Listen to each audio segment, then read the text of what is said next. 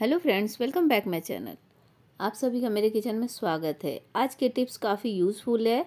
हमारे घर में रोज़मर्रा के कुछ छोटे छोटे ऐसे काम होते हैं जो हमें ना अगर हम टिप्स या ट्रिक लगा के उसे फॉलो करते हैं तो वो काम हमारे थोड़े से आसान हो जाते हैं। ख़त्म तो नहीं होंगे, किचन के काम कभी ख़त्म नहीं होते और कुछ ना कुछ लगा ही रहता है। तो आज मैं आप सबके लिए ऐसे ही छोटे छोटे टिप्स एंड ट्रिक लेके आई हूँ, जो काफ़ी यूज़फुल है। पाँच ऐसे टिप्स है जो आपके काफ़ी काम आने वाले तो वीडियो को पूरा देखिएगा और पसंद आए तो लाइक कीजिएगा, शेयर कीजिएगा, चैनल को सब्सक्राइब ज़रूर कर लीजिएगा। तो सबसे पहला यूज़फुल किचन टिप्स है मेथी को लेकर। मेथी या पत्तों वाली सब्ज़ियाँ जो होती है, मेथी, पालक, पुदीना हुआ, धनिया पत्ता हुआ तो कभी कभी क्या होता है ना, हम जब बाज़ार से सब्ज़ी खरीद के लाते हैं तो थोड़ी देर भी हम बाहर रखेंगे ना तो इस तरीके से मुरझा जाते हैं। मैंने यहाँ पे न्यूज़पेपर में लपेट के रखा था, फिर भी थोड़ी इस तरीके से हो गया, ये मुरझा गया है। जब कभी भी इस तरीके की पत्ती वाली सब्ज़ियाँ मुरझा जाती है ना तो आपको क्या करना, पानी ले लेना है बड़ा बर्तन में और उसे डाल के जो सब्ज़ियाँ है, हरी पत्ती वाली, उसे डाल के दस से पंद्रह मिनट के लिए छोड़ना है, ज़्यादा नहीं छोड़ना है और उसके बाद इस तरीके से कोई जाली वाली प्लेट ले ले या फिर कोई कॉटन का कपड़ा ले ले, उसके ऊपर इसे रख दे। थोड़ी देर में देखेंगे जो पत्ती वो है ना, इनके जो मुरझा जाते हैं पत्तियाँ वो सब खिले खिले से हो जाएँगे। अगर कभी भी आपके साथ ऐसा होता है तो आप क्या करें, इस तरीके से पानी में डाल के थोड़ी देर छोड़ दे तो पत्तियाँ जो है ना एकदम हरी भरी हो जाती हैं, एकदम सीधे हो जाएँगे। देखिए, मैं आपको पास से दिखा रही हूँ। तो ये हो गई हमारी मेथी को थोड़े से अगर मुरझा जाते हैं तो उसे उसे फ्रेश कैसे रखें? और अभी सर्दियों में मेथी के पत्ते बहुत आते हैं तो कभी कभी क्या होता है, मेथी साफ़ करना बहुत मुश्किल होता है, क्योंकि एक एक पत्ते चुनना बहुत ज़रूरी होता है। तो यहाँ पर मैंने ले लिया है ग्रेटर, उसमें इस तरीके से डाल के आप कर सकते हैं। अगर आपको सिर्फ़ पत्तियाँ चाहिए तो क्योंकि मेथी की जो पतली पतली डंडियाँ होती है, ये काफ़ी टाइट होते हैं। ऐसे जब सब्ज़ी में डालेंगे तो दांतों में फंसेंगे, फिर वो खाया भी नहीं जाता है। तो आप इस तरीके से अगर पत्तियाँ चाहिए तो आप तो इस तरीके से ग्रेटर में डाल के निकाल सकते हैं। अगर डंडिया देखिए, मैं आपको तोड़ के दिखा रही हूँ। जो कच्ची डंडिया होती है ना, उसे इस तरीके से आप तोड़ लीजिए, लेकिन मोटी वाली वो मत डालिए। उसमें ना रेसे जैसे निकलते हैं, फिर वो सब्जियों में डालने से अच्छे भी नहीं लगते हैं और वो काफ़ी दांतों में फंसते तो इस तरीके से आप ढेर सारी मेथी की पत्तियाँ साफ़ कर सकते हैं आसानी से। सिर्फ़ पत्ते चाहिए तो ग्रेटर की मदद लीजिए और आपको सिर्फ़ डंडिया चाहिए तो आप ऊपर ऊपर से जो कच्चे वाले पत्तियाँ होती हैं ना, वो तोड़ लीजिए। तो आई होप कि आपको ये टिप्स अच्छी लगी हो। प्लीज़ तो चलिए हम आगे बढ़ते हैं हमारा अगला यूजफुल टिप्स है गाजर को लेकर। देखिए अभी गाजर बहुत अच्छी अच्छी आती है, सर्दियाँ स्टार्ट हो गई तो गाजर भी बहुत आते हैं। और गाजर मोटी आती है, पतली आती है तो गाजर के ना इसे अच्छे से छिलके निकालना बहुत ज़रूरी है और इसमें काफ़ी मिट्टी भी होती है, उसे भी क्लीन करना ज़रूरी है। तो हम क्या करते हैं, सब्ज़ी बनाना हो या फिर हलवा बनाना हो तो इस तरीके से हम छील लेते हैं। तो हमें इतना वेस्ट नहीं करना चाहिए, इसके छिलके इतने नहीं निकालना चाहिए, क्योंकि अभी ये जो फ्रेश वाले आते हैं ना जो ताज़े आते हैं, वो गाजर काफ़ी अच्छे होते हैं, इनके छिलके बहुत पतले होते हैं, इतना हमें नहीं वेस्ट करना चाहिए। आपको क्या करना है यहाँ पर? या तो चाकू ले लीजिए या फिर जो नेल कटर के पीछे वाले छोटे से चाकू होते हैं ना, उसे हमें इस तरीके से रगड़ देना है। ऊपर नीचे करके जाना है, इससे क्या होगा? जितने भी इसके ऊपर पतली सी जो बाल बाल जो निकले होते हैं ना, वो निकल जाएँगे, लेकिन छिलके ज़्यादा नहीं निकलेंगे। इस तरीके से हमारे गाजर ज़्यादा वेस्ट नहीं होगा। तो इस तरीके से आप कर सकते हैं, या फिर आप चाहें तो चाकू से भी ये काम कर सकते हैं, गिलास से भी कर सकते हैं, लेकिन मैंने यहाँ पे नेल कटर से किया है क्योंकि जो पतले वाले गाजर होते हैं ना, वहाँ पे चाकू लगाएँगे तो वो कट जाते हैं। तो आपको चाहिए ज़्यादा तेज़ भी नहीं, ज़्यादा साफ़ भी नहीं कि हमारा जो चाकू है, धार वाली, चाकू जो हमें चाहिए पतली चाहिए, लेकिन धार वाली नहीं चाहिए। इस तरीके से हम जब निकालेंगे ना छिलके तो देखिए, एकदम पतले पतले छिलके निकलेंगे और गाजर भी हमारा अच्छी तरीके से क्लीन हो जाएगा। इसके साथ जो छोटे छोटे इसमें बाल रेशे जो होते हैं ना, वो भी निकल जाएँगे। तो पतले से पतले गाजर आप इस तरीके से जो पतले से पतले गाजर को इस तरीके से आप घस के क्लीन कर सकते हैं। तो देखिए, मैं आपको दिखा रही हूँ जो हमने इसे चाकू से किया और ये जो फिलर से हमने किया है, दोनों में कितना डिफरेंस है, लेकिन क्लीनिंग तो हो गई है। तो इस तरीके से आप कभी भी गाजर को ना छिलका पूरा ना निकालें।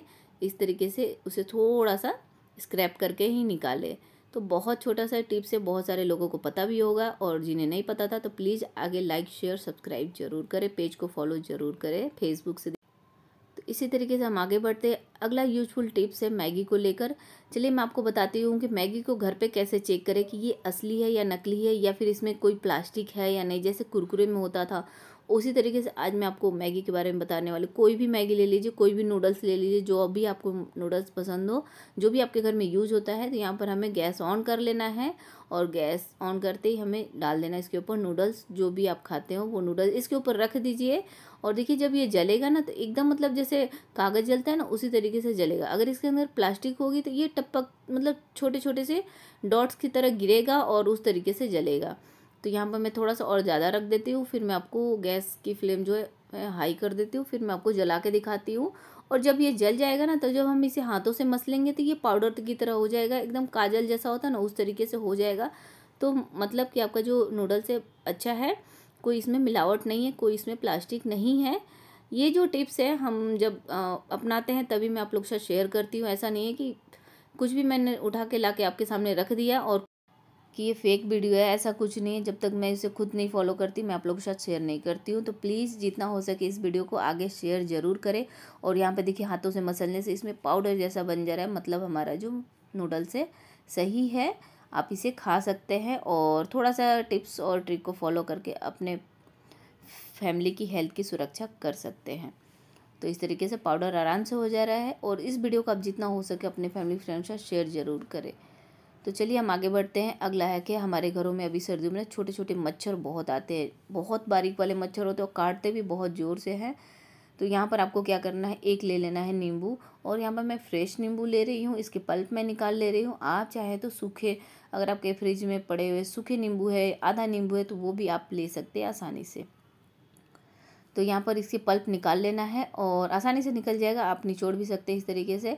और इसे अभी हम फेंकेंगे नहीं। जो रस निकला आप नींबू पानी बना के पी लीजिए या फिर सैलड में डाल के यूज़ कर लीजिए। और इस तरीके से मैंने सारे पल्प निकाल लिए हैं और यहाँ पर मैं एक ले लूँगी छोटा सा दिया या फिर कोई भी कटोरी ले लीजिए, क्योंकि हमें इसे जलाना है। तो इस तरीके से जो इसके गुद्दे हैं, वो मैंने थोड़े से अंदर कर दिए हैं और थोड़ा सा उंगली डाल के इसमें जगह कर लिया है कि अब इसमें हम तेल डालेंगे। मैं यहाँ पे सरसों का तेल ले रही हूँ। आप चाहे तो यहाँ पर आप यहाँ पर नीम का तेल भी ले सकते हैं। नीम का तेल भी मच्छर भगाने के बहुत काम आता है। अब इसमें एक बत्ती डाल देंगे इस तरीके से और इसमें एक चीज़ और मैं डाल रही हूँ, वो है हींग। इसे बहुत अच्छी खुशबू आएगी। नींबू है तो उसकी तो फ्लेवर रहेंगी, खुशबू तो रहेगी। साथ में मैं यहाँ पे थोड़ा सा हींग डाली, आप चाहे तो लौंग या फिर लहसुन भी यहाँ पे, लहसुन के छिलके भी डाल के जला सकते हैं और उसको आपको रख लेना है जहाँ आपके घर में मच्छर ज़्यादा आते हैं, मक्खियाँ ज़्यादा आती है, खिड़की के पास रखिए, जहाँ बच्चे पढ़ाई करते हैं वहाँ पर रखिए। इससे एक घर में अच्छी सी खुशबू भी रहेगी, मच्छर मक्खी भी आपके घर नहीं आएँगे। तो ये टिप्स को अपना के ज़रूर देखिएगा, आपको बहुत यूज़फुल लगेगा। पसंद आए तो अपने फैमिली फ्रेंड्स साथ शेयर ज़रूर करें। और साथ में लाइक भी करते रहें। तो चलिए एक बढ़िया सा हम डिप बनाते हैं। डिप बोलिए, स्प्रेड बोलिए तो यहाँ पर मैंने ले लिया है पनीर और इसमें डाल देंगे दो लहसुन की कलिया, साथ में हम डाल देंगे इसमें थोड़ी सी काली मिर्च, थोड़ा सा नमक और इसमें डाल देंगे भीगे हुए काजू। चार से पाँच मैंने यहाँ पे भीगे हुए काजू ले लिए हैं। और यहाँ पे आप होममेड जो चीज़ स्प्रेड होता है ना, वो हम बना रहे हैं। तो यहाँ पर आपको काजू की जगह बादाम भी ले सकते हैं आलमंड्स ले लीजिए, उसको थोड़ा सा भिगो दीजिए, छिलका निकाल के भी आप ले सकते हैं। थोड़ा सा इसमें दूध डालेंगे और इसे हम पीस लेंगे। और ये बहुत अच्छा healthy super healthy super duper healthy ये डिप बन के तैयार हो गया है। इसे मैंने अच्छे से ग्राइंड कर लिया है।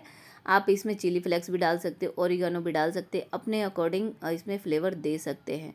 तो ये बढ़िया सा डीप स्प्रेड, आप इसे ब्रेड के ऊपर भी सैंडविच में लेके खा सकते हैं या फिर कोई भी चिप्स या नाचोस के साथ इसे इंजॉय कर सकते हैं। एक बार ये डिप ज़रूर बनाइएगा, आपको बहुत, आपके फैमिली को बहुत ज़्यादा अच्छी लगेगी।